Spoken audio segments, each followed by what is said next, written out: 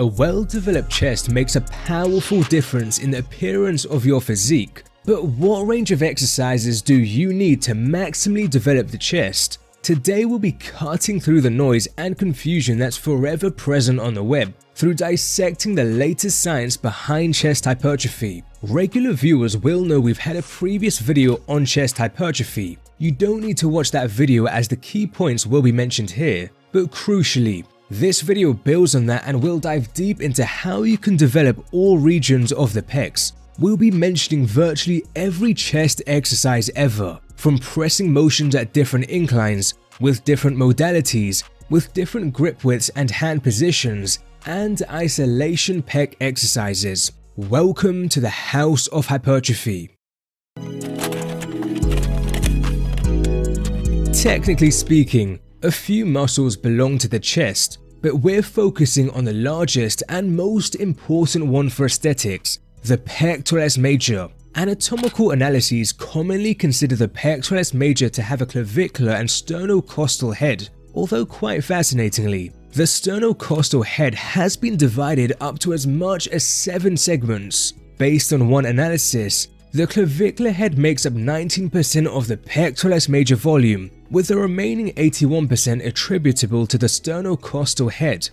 Some well-controlled electromyographic research, which actually considered six regions, finds they can be functionally separable. What this means is it's theoretically possible to preferentially target different pec regions. This is not bro science. For simplicity, we'll just consider there to be three regions, and I'll refer to them as the upper, middle, and lower pecs. Let us now dive into our analysis, starting with the middle pecs. As shown in this classic 1997 paper, the middle pecs have tremendous leverage for shoulder horizontal flexion, with the front delt behind. In this case, leverage specifically refers to the muscle's moment arm, which is the perpendicular distance between the line of force of the muscle and the center of the joint it moves. Promising data suggests leverage is perhaps the most important factor behind how the central nervous system chooses which muscles to activate in an exercise.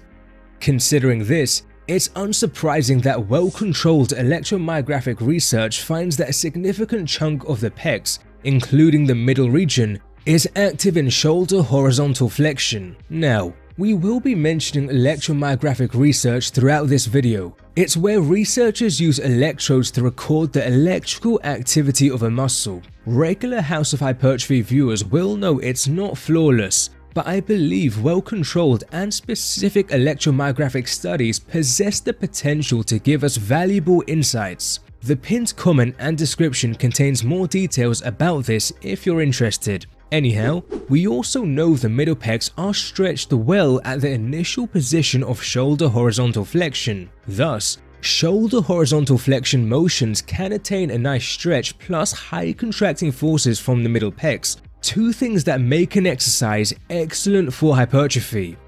Your first thought may be that all fly exercise variations do this. Indeed, this is true. However, these are isolation exercises. They will be dissected later in this video. Right now, we'll focus on horizontal pressing exercises, which involve all bench pressing variations, including with the barbell, dumbbell, Smith machine, and machine. Also, push-ups and seated machine chest presses fit into this category. All of these are compound exercises. When you're pressing with a moderate to wider grip, they tend to involve shoulder horizontal flexion. Ignoring the lower arm reveals this. Therefore, it's unsurprising that this paper found just flat barbell bench pressing 3 times a week across 6 months grew the middle pecs by an impressive 37%. Does this mean the flat barbell bench press is superior? No, because as detailed in our previous video, we have a range of scientific papers that actually suggest all these variations can probably be quite similar to the barbell bench press. Machine variations have been documented to produce similar pec growth and activity to barbells. Dumbbells tend to evoke similar pec activity to barbells, and push-ups have even produced similar pec growth to barbell benching. Now, some of you may be wondering about dips. This doesn't actually involve shoulder horizontal flexion, at least not predominantly, but we'll discuss this more in the lower pec section. Anyway, the fact all these exercises are likely similar for pec growth may come as a surprise to some, but remember that at the end of the day, although subtle differences exist, they all fundamentally involve shoulder horizontal flexion. Provided we're training them hard and getting to or near to failure, we're going to be exposing the pecs to high tension. It is also fascinating to know the scientific literature implies there's a strong strength carryover between all these exercises. Training with a machine chest press has been shown to significantly increase barbell bench press strength. The inverse of this is also true. Training the Smith machine bench press has also been shown to significantly increase barbell bench press strength. The inverse of this is also true. There's fairly strong correlations between push-up performance and bench press performance, as well as dumbbell and barbell benching, so you're free to select whichever exercise you prefer. Although, there are actually 5 considerations you may factor into helping you choose.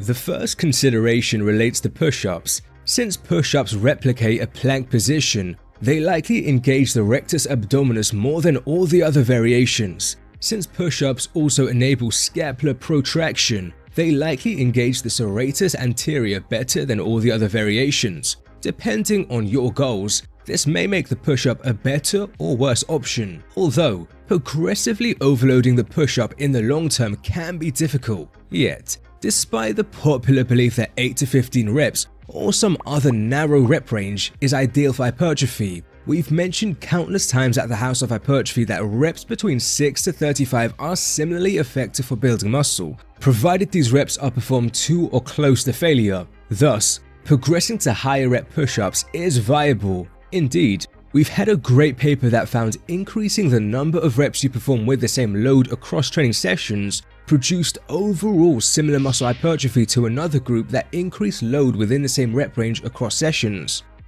Now, there is only so much you can add reps, going well beyond 35 reps may be inferior, yet, provided you're not super advanced, weighted push-ups are a great option that enables load increases. The second consideration relates to dumbbell bench pressing. When analyzing them, the triceps are likely trained slightly less compared to all other variations. The likely reason for this is you can't apply much lateral forces during a dumbbell bench press. Doing so would just result in the dumbbells falling either side of you. This matters as the triceps are involved in generating lateral forces. With all the other variations, lateral forces naturally occur whether you know it or not. Indeed, Electromyographic data finds reduced triceps activity with a dumbbell compared to a barbell bench press. Depending on your goals, this may make it a better or worse option.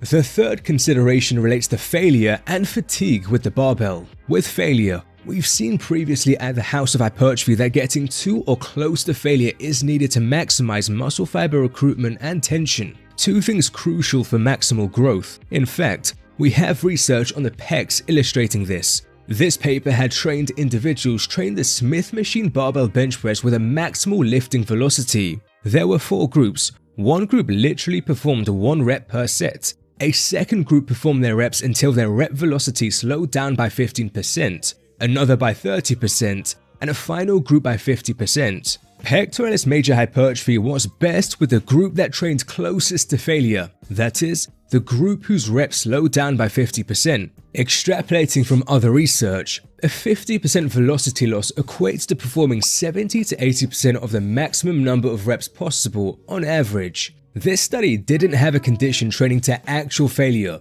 but as we've seen previously at the House of Hypertrophy, getting 3 to 1 reps from failure seems to produce similar growth to failure, so this is the general recommendation.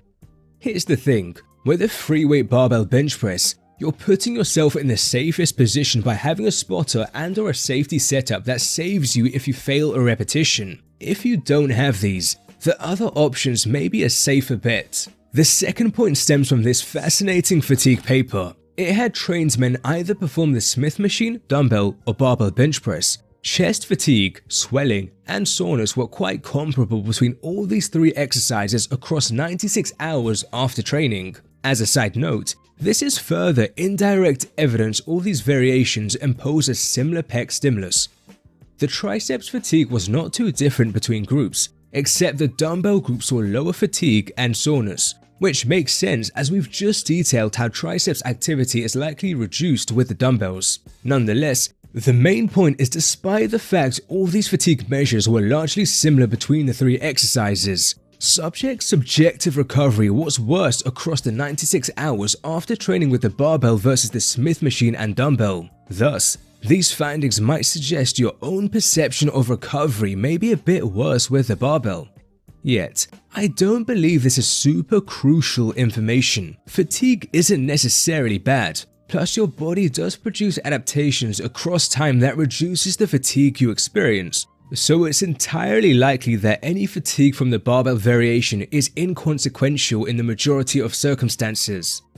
The fourth consideration surrounds machines. We've briefly alluded to how there's data comparing machine to barbell pressing, and similar pec hypertrophy was found. This might surprise some because there's been speculations that extra stability with machines better enables muscle fiber recruitment. However, I think stability is critical on the extreme ends. For example, bench pressing on a Swiss ball is probably going to suck for building muscle, but the extra stability with machines compared to barbells and dumbbells doesn't seem to transfer to greater growth. Plus we have meta-analyses, which combine the results of numerous studies, finding that overall, machine exercises largely produce similar growth to barbells and dumbbells. Now, not all machines in the world are identical, but provided the machine provides solid resistance at the bottom where the pecs are stretched, it should be good. Some machines can converge to get a better shortened and contracted position, and perhaps provide a solid challenge here. Dumbbells also involve convergence. This is extra shoulder horizontal flexion near that shortened position, and this convergence and squeeze can feel nice. Despite this, it probably doesn't enhance growth since the available data suggests tension at that shortened position may not provide extra benefits. Specifically, we have three studies remarkably finding that a partial range of motion at the lengthened position produces overall better hypertrophy than a full range of motion. This seems to tell us that that shortened position, which is reached with a full range of motion, doesn't stimulate extra growth. Instead, we're seeing better growth with more time spent at that lengthened position. We also have research finding isometric training at longer muscle positions produces more growth than shorter muscle positions. Now, more data with other exercises and demographics are certainly needed to validate this general concept and the effectiveness of partials at long lengths. But in the absence of other data, it seems high tension around the lengthened position is what's more important. Linked to this is our fifth and final consideration of this section, stretch. Let me first describe some fascinating research, and then we'll fit this into how you might enhance your pec growth. Besides this data demonstrating that time accumulated at the lengthened position seems to be more anabolic, we have data demonstrating selecting exercises that reach a better stretch could build more muscle. For example, seated leg curls better stretch out the hamstrings than lying leg curls, and have been documented to cause 1.5 times more hamstrings hypertrophy. Moreover, it is seriously intriguing to know that a recent study established performing this intense pec stretch produced notable pec growth. In fact, the growth was similar to that obtained to another group of subjects that trained the machine chest fly with these variables. Of course, achieving a stretch during weightlifting is far from identical to holding an intense stretch for a prolonged duration, and I don't anticipate many people actually want to start holding intense prolonged stretches. Regardless, I think this is further illustration of stretching stimuli having positive influence on growth. So what could this information mean for pec training? Floor presses are a variation I've yet to touch on. This limits the extent to which you lower and thus lengthen the pecs, so are likely suboptimal for growth. This doesn't mean no one should ever do them. They could have application if your goal is maximum strength, or if you're dealing with some kind of injury or discomfort that means you can't train the pecs at a more stretched position. Anyhow, The key point of this stretch talk is we have variations that can help us reach a deeper pec stretch. Dumbbells technically permit you to reach a deeper stretch of the pecs. Thus, although we've alluded to electromyographic data showing similar pec activity between dumbbells and barbells, one pitfall of electromyography is it doesn't measure stretch-based forces. So it is actually possible out of all the variations we mentioned, dumbbells truly could be slightly better, although larger dumbbells can make this challenging to achieve. And this brings us to two other variations,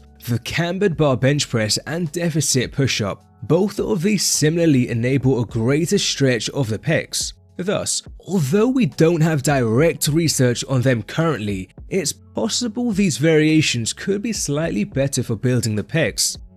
To be as scientifically accurate as possible, we must not neglect that virtually all the studies on the benefits of training muscles with more stretch has been conducted on previously untrained individuals and lasted no more than 12 weeks. I mention this as there have been speculations that the extra growth from training muscles and more stretched positions is a special type of growth that plateaus quickly. If true, this suggests training at more stretched positions will just produce similar gains to training at more shortened positions after the extra growth plateaus. However, this is based on limited and indirect data. Moreover, there is some data that suggests there still could be long-term growth benefits to training muscles at more stretched positions, but this too is from limited and indirect data. For those who are interested in the weeds of this, I thoroughly dissect the current science and deliver my thoughts on this topic at this link. Regardless, I still think training muscles at stretched positions in practice is worthwhile. Even if those extra gains plateau, we still want them. Moreover, the best case scenario is there's still long-term gains to be seen from them. This doesn't mean no one should ever have training focused at shorter lengths. We've seen that although the overall growth is less, training at shorter muscle lengths still stimulates growth, so know that you can still certainly grow from it. Additionally, a technical consideration is that with all else equal, training at shorter muscle positions generates less fatigue than training at longer muscle lengths. For example, with all else equal, floor presses likely generate less fatigue than regular bench pressing. In theory, this means you can probably train more with exercises at shorter muscle lengths, and this extra volume, although not time efficient, might go some way to closing the muscle growth gap between shorter and longer length training. Summarizing this section, we've seen that a range of horizontal presses are likely all similarly effective for growing the pecs, including the middle pecs. Thus, you have the freedom to select whatever you prefer. Here are 5 considerations that may factor into your choice. Of course, it is also not outside the realm of possibility to construct a sensibly varied program that involves more than one of these horizontal pressing variations. Remember that we'll be dissecting isolation exercises later on, but let us now transition to the upper pecs.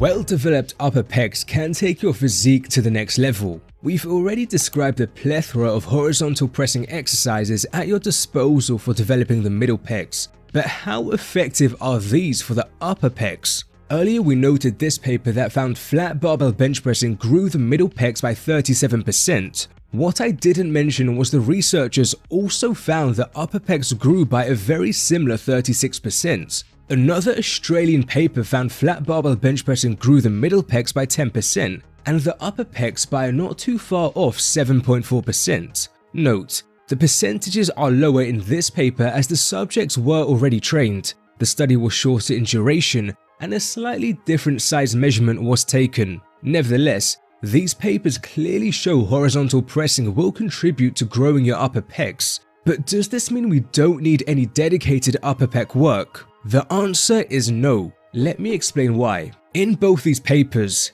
instead of looking at the growth in percentages, if we look at actual centimeter increases, the upper pecs actually grew fairly less than the middle pecs. How on earth could this be? It's because the upper pecs were smaller in size to begin with, a smaller number to begin with, but sees the same or similar percentage increase to a larger number still means a smaller total increase in size. Resultantly, it is technically accurate to say flat barbell bench pressing grows the upper pecs less than the middle pecs.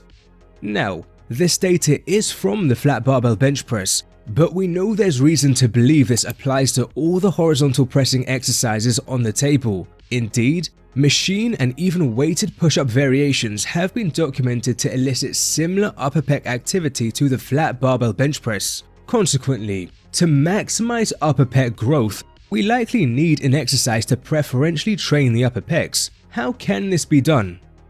Well-controlled electromyographic research finds that the ratio of upper pec to middle pec activity is better when the force is directed obliquely upward instead of purely horizontally. Incline bench pressing replicates this, at least insofar as pushing in an upward direction. Indeed, out of the seven studies that have explored this, Incline bench pressing produced greater upper pec activity compared to the flat barbell bench press in 5 of them. It is also notable that the majority find middle and lower pec activity is reduced with the incline, and front delt activity is higher with the incline.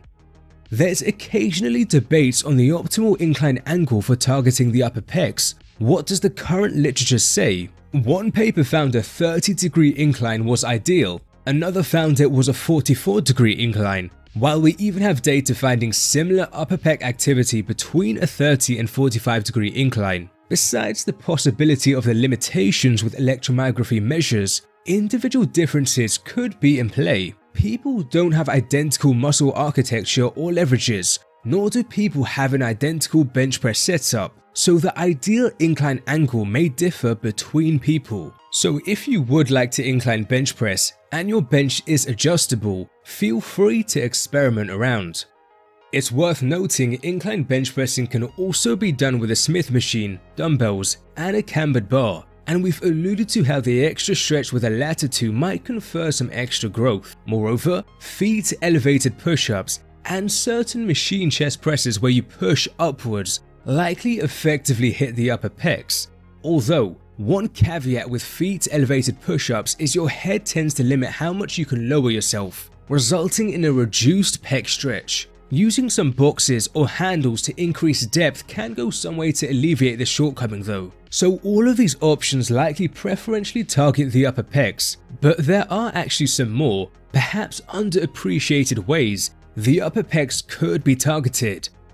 Out of all the pec regions, the upper pecs have the best leverage for performing shoulder flexion, and well-controlled electromyographic analyses find the upper pecs contribute more to shoulder flexion than the other regions. During horizontal presses, using a closer grip gets you closer to predominantly performing shoulder flexion. This is best achieved when keeping the arms near to the side and not flared out. Also, Using a reverse grip on a barbell also forces you into performing shoulder flexion, regardless of the grip used. We might speculate these preferentially target the upper pecs, yet the data is somewhat split, since out of the 8 papers comparing close to moderate and wider grip bench pressing, 4 of them find upper pec activity is better with a closer grip. Out of the 2 papers comparing reverse grip bench pressing to normal grip bench pressing, only one finds enhanced upper pec activity. As an additional note, the majority of data finds closer grips better recruit the triceps. When comparing these variations to an incline bench press with a wider grip, we just have this paper that found upper pec activity was not statistically different between a closer grip bench press and an incline with a wider grip, although the raw numbers lean toward the closer grip. Regardless, this might be tentative evidence closer grips could be as good for the upper pecs as a standard incline. We shouldn't forget that closer grips and reverse grips can even be used with the Smith machine, dumbbells, and even push-ups. So, there is a fair number of potential upper pec options. We'll provide some recommendations in a second. I say this because we're not quite done. It's possible for us to use a closer or reverse grip on an inclined angle. Could this be the best? The only analysis from the literature is this paper, that found compared to an incline bench press with a wider grip, an incline with a closer and reverse grip produced non-statistically different upper pec activity, although the raw numbers lean towards using closer and reverse grips on the incline. However, it's worth mentioning this paper was the same one that found flat closer grip bench pressing produced upper pec activity levels that were not statistically different from the incline with a wider grip. Anyhow, we'll add closer and reverse grips with an incline to our already extensive list. The landmine press and lying Svend press are two final exercises worth mentioning. The landmine press involves pushing in an upward direction that we know likely preferentially targets the upper pecs. However, the very close hand spacing reduces the overall stretch of the pecs. Thus, I suspect it's not going to be as good as all the other options mentioned, but it's certainly not a bad exercise and it will still build muscle. So if someone really likes it, that can be enough of a reason to train with it. As for the lying Svend press, it's essentially a close grip press with an intense chest squeeze against a plate. The size of the plate means the stretch is restricted, and since there's only so heavy of a plate you can lift, it's going to be difficult to progress this exercise in the long term. Dumbbells can be used, but this still suffers from a restricted stretch. The only scenario where I think someone may want to perform this is simply if they find it a fun and enjoyable addition to their training. So we know there's a ton of upper pec options. What's the recommendation? We've seen there is essentially evidence for all of these variations better targeting the upper pecs, and in the limited data that has compared some of these, there are non-significant differences. Thus, for now, I'd simply recommend selecting whatever option you like, Although it is possible what works best could differ between people. For example, Greg Nuckols from Stronger by Science notes his upper pecs get outrageously sore from flat reverse benching, whereas this never happens from his incline experience. Thus, you could experiment with any of the variations and evaluate how they subjectively score for you. Do you perceive more upper pec with him? Is the pump and perhaps the next day soreness in the upper pecs greater than usual? No, it's critical to understand subjective sensations are not yet validated proxies for actual muscle activation, and we also know despite popular belief, the intracellular events associated with a pump and soreness do not appear to be strong drivers of hypertrophy. But having said this, I believe it's still plausible when controlling as much factors. Subjective sensations like the pump and soreness could be indirect insights to the actual tension seen by a muscle region, so in the absence of anything else, I think it's not the end of the world for you to try and use your subjective perception to help determine what you may train with.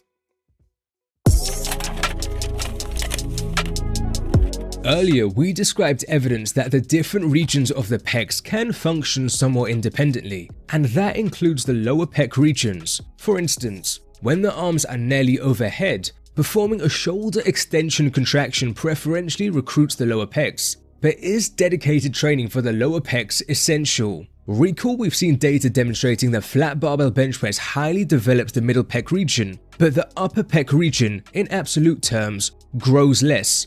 As for the lower pecs, both these papers found it grew pretty similarly to the middle pec region, both in percentages and centimeters. Therefore, it appears flat barbell bench pressing is highly effective for the lower pecs. I'm presuming this extends to all the other horizontal pressing exercises. So dedicated lower pec training may not be essential. Whatever horizontal presses you have could cover you. Of course, this does not mean no one should ever perform specific movements for the lower pecs. Perhaps you're constructing a program with sensible variation that means an exercise that biases the lower pecs can fit into your program, or alternatively, if you somehow find your lower pecs are underdeveloped despite training with your choice of horizontal presses, then dedicated training for your lower pecs may be called for. So how might the lower pecs be preferentially trained? The lower pec fibers run in this direction, and it's possible movements that align with this and press downwards could preferentially train the lower pec area above the other regions, such as decline bench pressing, machine decline pressing, hands elevated push-ups, dips, and isolation exercises that we'll cover in the isolation section. Quite fascinatingly, two electromyographic studies that have compared a 15 degree decline to a flat barbell bench press found lower pec activity was similar between them. In addition to these two papers, there have been a few other electromyographic papers exploring activity of the other pec regions between a decline and flat barbell bench press. The findings are a little mixed, but some of them suggest that upper and middle pecs, as well as the front delts, display lower activity with the decline. Therefore, although actual lower pec activity may not be that different between a decline and flat angle, since middle and lower pecs display lower activity in some analyses, a decline may fundamentally still be considered a valid way to selectively train the lower pecs over the other regions. As for the dip, it has the capacity to attain a great stretch. Unfortunately, there's no officially published research comparing dips to other common chest exercises. I know this paper compared pec activity between different dips, with the ring and normal dips producing decent upper pec activity. Not much comparative conclusions can be made from this, and they didn't assess the middle or lower pecs. Besides this, all we have is this unofficial electromyographic analysis that found during a weighted dip, raw lower pec activity was better than the upper and middle regions. At the end of the day, feel free to try out any of these movements. Your subjective perception may guide your choice. We can say as an overall muscle, shoulder horizontal flexion is the motion that best trains it. Isolated shoulder horizontal flexion occurs with flies, including cable, machine, and dumbbell flies. Before comparing them, could these pec isolation exercises grow the pecs better than the compound exercises we've talked about? When comparing isolation to the compound movements, there's no movement at their elbow, meaning we're taking the triceps out of the equation. You might guess this means our central nervous system can better activate our pecs with the isolation exercises, and thereby produce greater pec hypertrophy versus compound exercises. Despite being logical, the available data does not support this. We know that dumbbell flies are most challenging at the lower parts, and during this phase, two papers find pec activity was comparable to that of the flat barbell bench press. Although, one of the analyses found if we look at average activity across the whole exercise, the bench press actually evoked higher pec activity, this was largely because the activity at the top portions was better with the bench press. I don't believe this means bench pressing is a superior pec builder, because we've already detailed how it currently seems extra activity and more shortened and contracted positions doesn't cause extra growth. Another analysis found both front delt and pec activity was similar between a barbell bench press and machine chest fly. As the authors concluded, the results clash with the idea that isolation exercises promote greater activity of the prime movers due to isolation. Due to this, I'd say isolation exercises are likely not essential for substantially growing the pecs over the long term. Compound exercises, such as your choice of horizontal pressing and an upper chest biased compound movement, is likely going to be sufficient for seeing substantial pec hypertrophy in the long term. Does this mean no one should ever perform isolated pec training? Not at all. It is absolutely possible to construct a sensibly varied program that includes compound and isolation exercises for the pecs. As a simple illustration, you may have a flat bench press, incline bench press, and cable fly. Not entirely disconnected from this, Perhaps you deem you have sufficient amounts of triceps training in your program, but you want to train the pecs more without additional tricep stimuli. In this case, isolated pec training is the perfect solution. Finally, I also don't want to rule out the possibility of individual differences. Averages have been detailed throughout this video, including the finding that pec activity is not so different between compound and isolation movements. Yet, it's within the realm of possibility for some people. Much of the compound exercises detailed in this video, regardless of how they perform it, just predominantly taxes their triceps and much less the pecs. In fact, some research, albeit having a few notable limitations, points to this. Thus, isolated pec training might be needed for these people to truly stimulate their pecs better. With these reasons out the way, how can we most effectively isolate the pecs?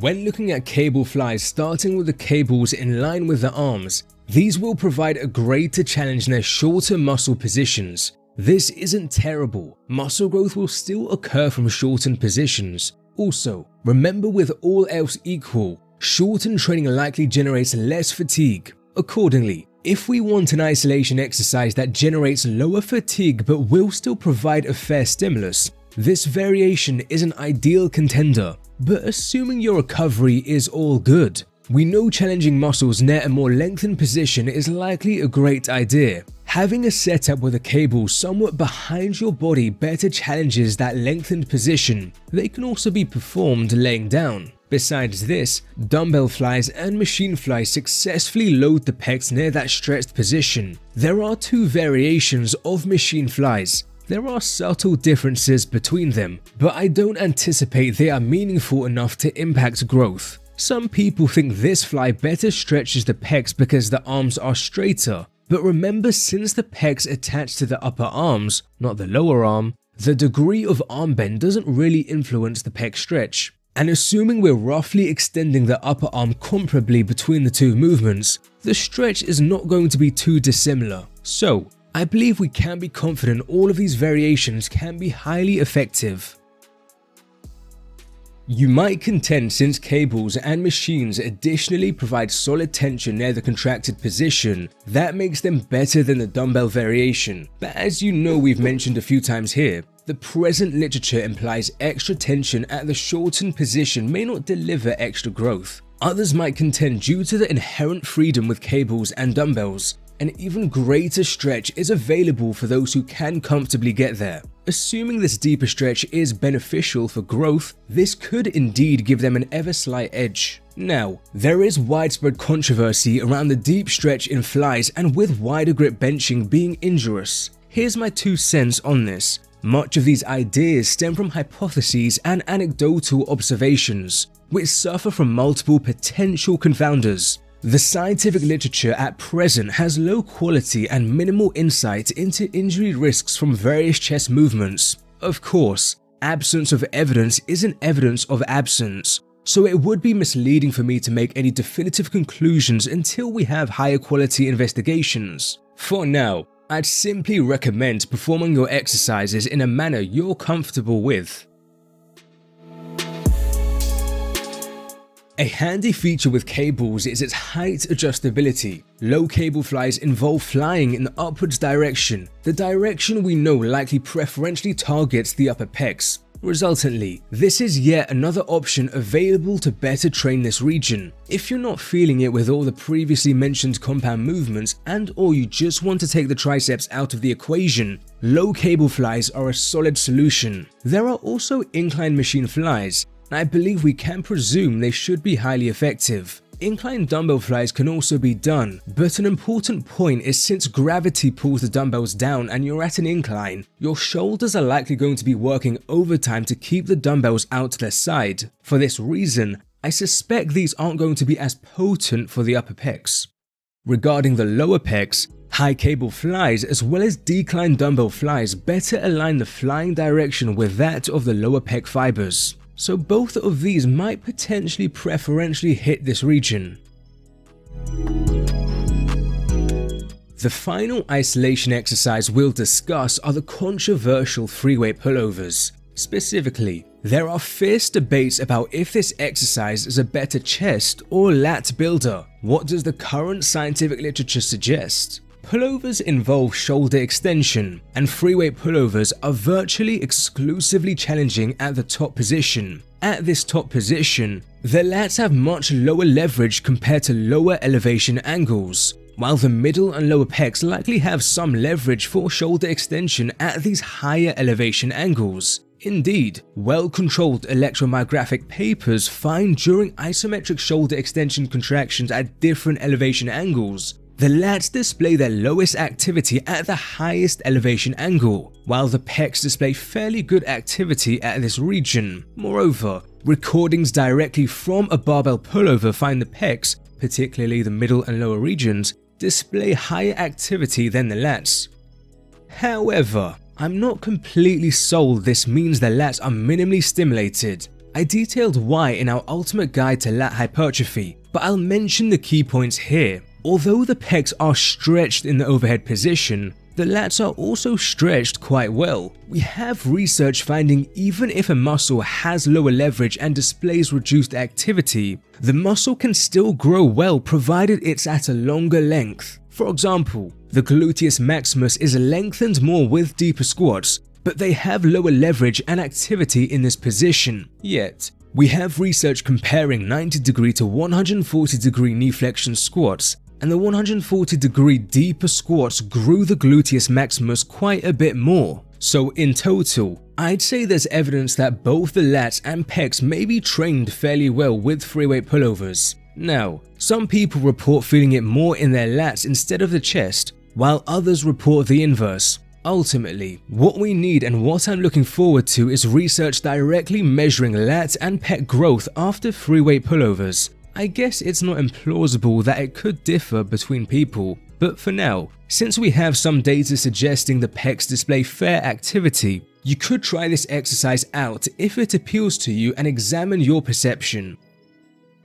So we've detailed a ton of information, and I understand it can be tricky and very challenging to construct your own muscle building program. But the Alpha Progression app, which is essentially your personal clever muscle building assistant in the palm of your hand, can easily help you. With hundreds of thousands of downloads, thousands of reviews speak to its unmatched quality. Other apps truly generate garbage programs, but this app intelligently gets you closer to your dream physique through generating an evidence-based program 100% customizable to your needs. Simply let it know all about you your experience level, the equipment you have, how often and how long you can train for, and if you want to focus or neglect certain muscles. This can all take less than a minute, and you can still make further edits if you like. The app has extra impressive features. During workouts, the app's algorithm carefully suggests how you may progressive overload to help push you to the next level. Aesthetic graphs automatically display your long-term progress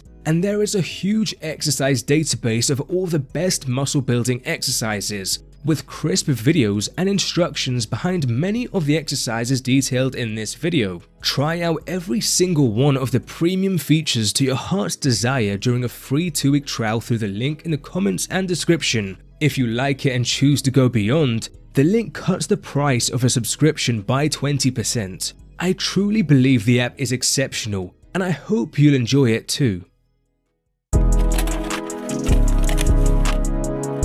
To ensure this video details every single relevant study relating to pec hypertrophy, there is one final study that needs to be mentioned. 47 previously untrained men trained either the incline bench press only, flat bench press only, or a combination of both with these variables. After training once per week for 8 weeks, the incline bench press group tended to see the best upper, middle, and lower pectoralis major growth compared to the other groups, in other words, just training an incline bench press led to the best results, with flat bench pressing or even a combination of both leading to inferior results. You may be thinking, what on earth, doesn't this go against much of what was described in the rest of this video? This is indeed true. You may also be thinking since this paper directly measured pec growth, we should consider it as high quality evidence. This is typically true, but upon scrutinizing this paper further,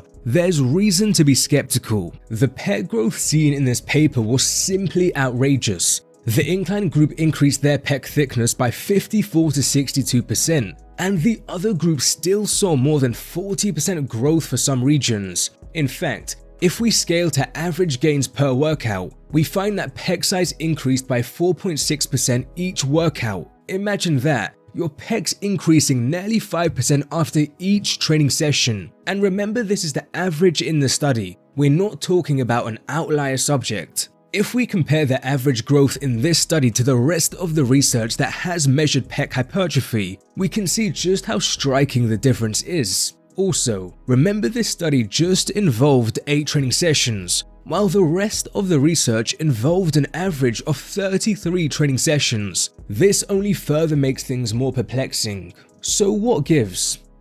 Although this is speculative, I believe the strongest explanation is the hypertrophy measurements might just have been faulty. 47 subjects completed the study. The text implies the researchers should have measured the gains of all 47 subjects, but just 30 subjects actually made up the hypertrophy measurements, so 17 measurements were missing. The researchers did not explain why, but it's entirely possible errors were made with these 17 measurements, perhaps suggesting the researchers poorly conducted the hypertrophy measurements with the ultrasound machinery. If this is all true, there could still be something dubious with the 30 measurements, perhaps explaining these abnormally astonishing amounts of hypertrophy.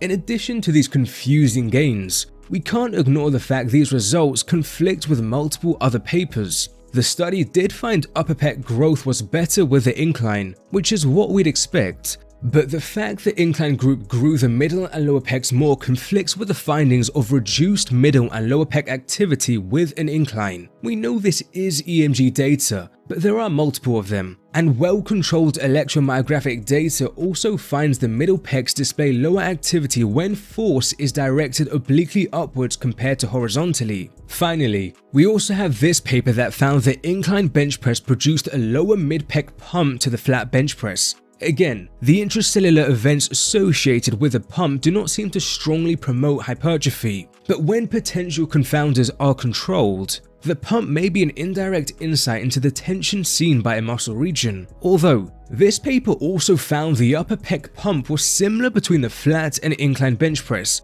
which I'd say is somewhat of an odd finding as well. Nevertheless, for all these reasons, I don't believe we can derive recommendations from this study.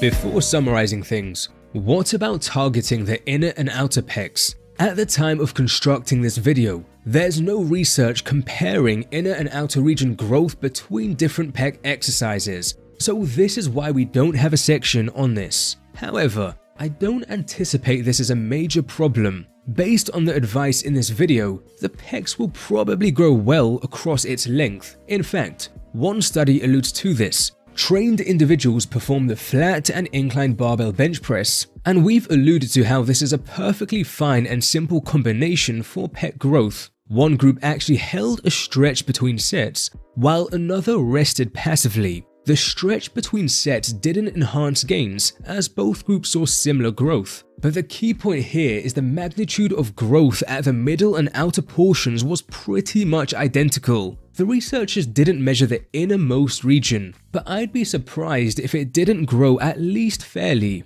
I will say if any future research does come along about the inner and outer regions, I'll be sure to update you all. Until then, it's not worth worrying about. On to the summary.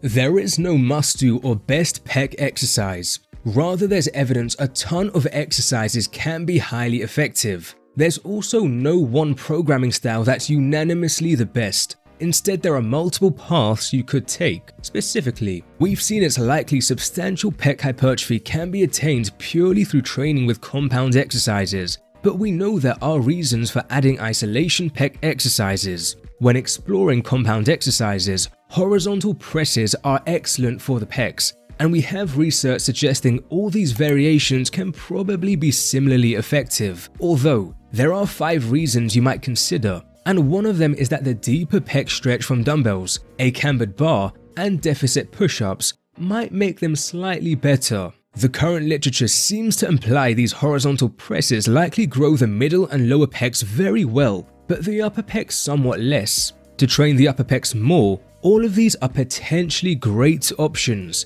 in the limited data comparing some of these, there are non-significant differences in upper pec activity. As for the lower pecs, although dedicated training for this region is probably not essential, here are potential options available to you if you would like to train this region more. Finally, here are isolation pec options on the table, and we described how all of these are potentially largely similarly effective. If you're after isolation options to better target the upper pecs, these are some great potential options. And if you're after isolation options to better target the lower pecs, these are some great potential options. Thank you for watching. Feel free to check out the Alpha Progression app or our recent deep dive into building the lats.